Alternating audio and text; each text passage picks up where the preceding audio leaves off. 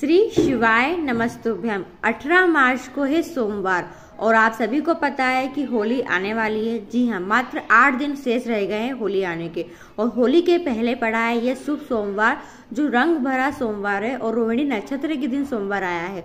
तो गुरु जी पंडित जी प्रदीप मिश्रा जी द्वारा बताया गया विशेष उपाय है, जो आप इस सोमवार कर कर अपनी मनोकामना को पूरा कर सकते हैं। देखिए, आप ऐसा ना सोचे कि हमने तो उपाय कर लिए और हमारी मनोकामना अभी तक पूरी नहीं हुई है तो अब क्या हम उपाय करें? ऐसा मन में ना सोचे, उपाय करते रहे। महादेव किस उपाय से प्रसन्न होकर आपकी मनोकामना को पूरा करते ये बाबा खुद जानता है, हमें तो पता नहीं है।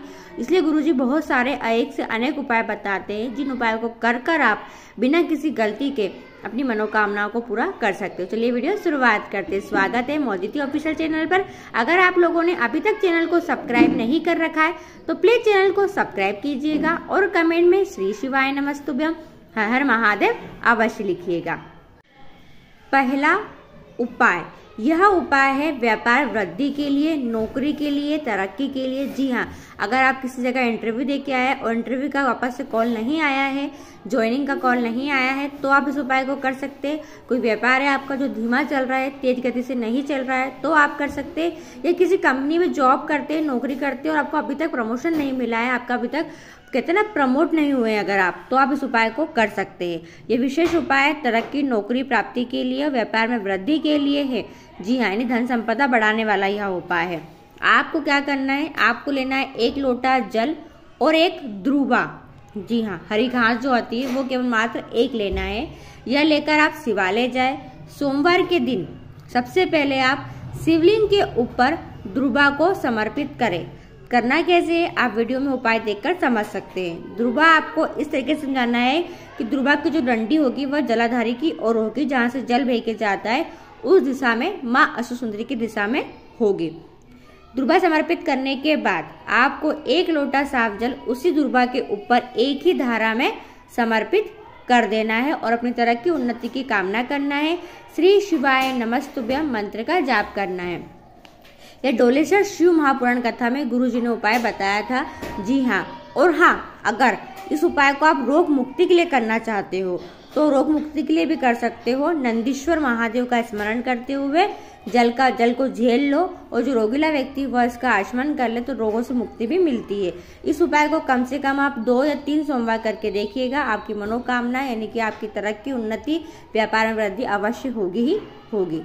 दूसरा उपाय, इस उपाय को करने से मात्र तीन दिन लगते हैं। कितने दिन? मात्र तीन दिन लगते हैं और आपकी वो मनोकामना पूरी होने लग जाती है। तो आपकी कोई भी मनोकामना हो, नौकरी, व्यापार, शीघ्र विवाह के लिए, रोगों से मुक्ति के लिए, धन संपदा वृद्धि के लिए, नया मकान खरीदने के लिए, यानी दिल की कोई मनोकामना है जो पूरी नहीं हो रही है तो आप इस उपाय को करके देखिएगा। बाबा दिशा दिखाएँगे, तीन दिन के अंदर ही आपको समझ में आ जाएगा कि आपको किस दिशा में जाना है और कैसा कार्य करना है और कौन सा कार्य करना है। जी हाँ यानी वह कार्य आपका पूर्ण हो जाएगा। आप शिवालय जाएँगे, जी हाँ सोमवार के दिन जाएँगे। बहुत लोग बाबा को कनेर का पुष्प समर्पित करते हैं, जी हाँ। तो आप शिवालय गए हैं और आपको जलाधारी में कहीं भी कनेर का पुष्प मिल जाए तो आप यह उपाय अवश्य करना और एक ही बार करना है। जी हाँ कनेर का पुष्प कैसा होता है, आप वीडियो में देख लीजिए। इस प्रकार का पुष्प, ये बाबा को पहले से चढ़ा हुआ पुष्प है तो आपको चढ़े हुए पुष्प से ही उपाय करना है। पुष्प को उठा ले। उठाकर सबसे पहले जलाधारी में राइट हैंड तरफ़ होता है गणेश जी का स्थान। वहाँ पर स्पर्श कराए। स्पर्श कराकर उठा ले। उसके ऑपोजिट होता है कार्तिक भगवान का स्थान। वहाँ पर इस पुष्प को स्पर्श करे। स्पर्श कराकर उठा ले। फिर बीच में होता है माँ अशोक सुंदरी का स्थान। महादेव की सबसे छोटी बेटी का स्थान। वहाँ पर इस पुष्प को स्पर्श कराए और पुष्प को उठा ले। चौथा आपको जहाँ शिवलिंग रखी रहती है, माँ पार्वती का कटी भाग होता है, वहाँ पर स्पर्श करना है, स्पर्श कराकर उठा ले। पांचवा आपको त्रिशूल में। जी हाँ जो त्रिशूल होता है, त्रिशूल के तीनों भाग जहाँ मिलते हैं, इस यहाँ विशेष स्थान पर उस कलर के पुष्प को श्री शिवाय नमस्तुभ्यम बोलते हुए स्पर्श करा देना है। पांचवा स्पर्श कराकर छठा आपको शिवलिंग के ऊपर जो मटकी बंधी रहती है, जलाधारी की उस पर स्पर्श कराना है। पर मान लो, शिवालय में वो जलाधारी नहीं बंधी हुई है तो महादेव की पाँचों कन्याओं, जया विशहरा सामरीवारी दो तली और देव, पाँचों कन्याओं का नाम लेकर उस पुष्प को शिवलिंग पर स्पर्श कराओ, उठाओ और फिर उस पुष्प को शिवलिंग के ऊपर समर्पित कर दो। ये विशेष मनोकामना पूर्ति के लिए कोई भी मनोकामना हो, आप करके देखिएगा। मात्र तीन दिन लगेंगे और वह मनोकामना आपकी पूरी हो ही जाएगी। तीसरा उपाय। जी हाँ इस उपाय को आपको कम से कम नियम से दो या तीन सोमवार करना है। जी हाँ और मात्र पंद्रह दिन लगेंगे। जी हाँ मात्र पंद्रह दिन लगेंगे और आपकी वह मनोकामना पूरी हो जाएगी। महादेव नहीं सुन रहे, बहुत प्रयास कर चुके, बाबा को बहुत बार मना चुके हो, पर बाबा नहीं सुन रहे। बाबा ने मन इकट्ठा कर लिया कि सुनना ही नहीं है अब तो। तो एक बार यह विशेष उपाय करके देखना। क्या करेंगे? एक लोटा जल लेकर सिवा ले जाना। ठीक है? शिवालय पहुंचकर सबसे पहले नंदी जी का जो पाँव उठा हुआ रहता है, उस उठे हुए पाँव पर, यानी राइट हैंड तरफ़ आपको लोटा जल भरा कलश लेकर बैठ जाना है। जी हाँ हाथ में कलश पकड़कर नंदीश्वर के पास, यानी नंदी जी के राइट हैंड तरफ़ बैठ जाना। दो क्षण के लिए श्री शिवाय नमस्तुभ्यम बोलना और महादेव का दर्शन करना वहीं से। ठीक है, फिर खड़े हो जाना। खड़े होकर जल महादेव के शिवलिंग के ऊपर समर्पित कर देना, पूरा की पूरा जल समर्पित कर देना। जल समर्पित करके उस खाली पात्र को लेकर वापस आपको नंदी जी के पास आकर बैठ जाना है। फिर आपको दो क्षण के लिए श्री शिवाय नमस्तुभ्यम मंत्र का जाप करना है, और बाबा को निहारना है, और अपनी जो भी मनोकामना है वह नंदी जी के पास बैठकर राइट हैंड तरफ़ बैठकर, जी हाँ सीधे हाथ तरफ़ ही बैठना, ठीक है? वहाँ बैठकर महादेव को देखें और अपनी मनोकामना बोल दे। ये नियम बना ले, दो सोमवार करना, तीन सोमवार करना और बाबा आपके पंद्रह दिन के अंदर मनोकामना पूरी कर देते। हैं यानी कि नंदी जी जो है, महादेव को रोज लेकर घूमने निकलते हैं प्रदोष काल में। तो बाबा से नंदी जी बोल देते हैं और महादेव हमारी बात सुनते ही सुनते हैं। चौथा उपाय। यह उपाय है रोगों से मुक्ति के लिए। जी हाँ बड़ी से बड़ी बीमारी हो गई है, दवाइयाँ बंद नहीं हो रही है।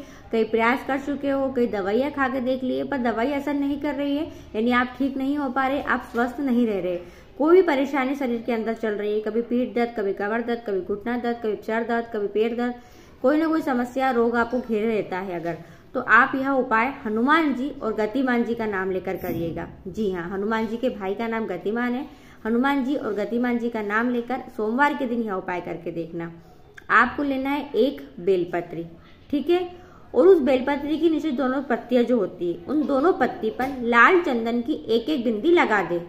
दोनों पत्ती पर लाल चंदन की एक एक बिंदी लगा दे और फिर उन दोनों पत्तियों पर एक एक समी पत्र रख ले। जी हाँ एक एक समी पत्र रख ले।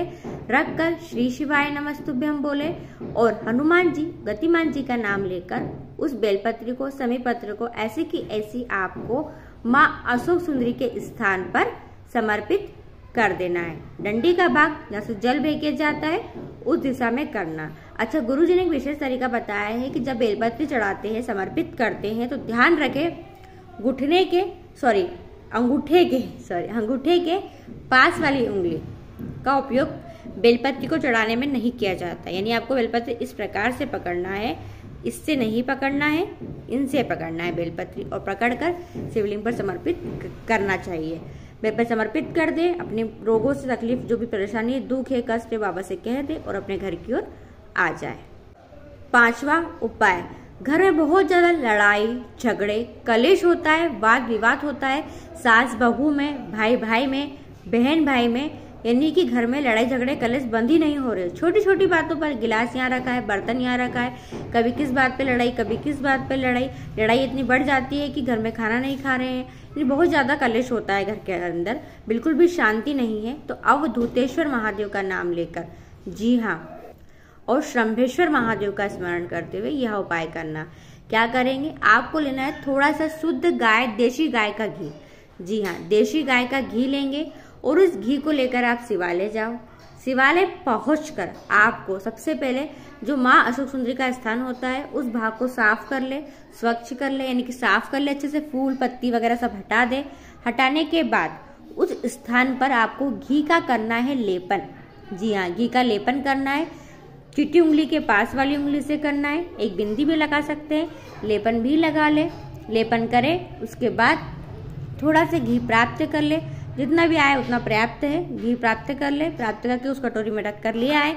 घर लाकर दो बिंदी लेफ़्ट और राइट हैंड तरफ़ अपने घर के मुख्य द्वार पर लगा ले। एक बिंदी भी लगाएँगे तो पर्याप्त रहेगी। ठीक है? लगा लीजिए और घर के अंदर आ जाइए।